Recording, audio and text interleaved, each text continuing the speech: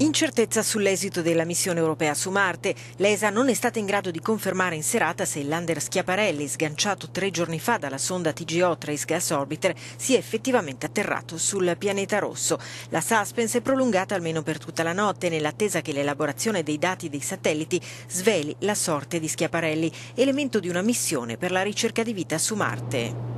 Uh, Marte è il pianeta più vicino a noi, in cui troviamo condizioni che possono essere adatte alla vita. C'è stata un'atmosfera migliore di oggi, temperature diverse e acqua allo stato liquido. Quindi se c'è vita nel nostro sistema solare al di là della Terra, Marte è il pianeta più interessante. Mars uh, is the most, uh, the most interesting planet.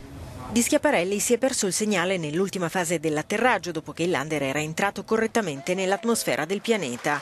L'ESA esprime comunque soddisfazione per l'altro obiettivo della missione già raggiunto, l'inserimento nell'orbita di Marte del TGO che resterà per anni intorno al pianeta cercando informazioni sulla sua atmosfera.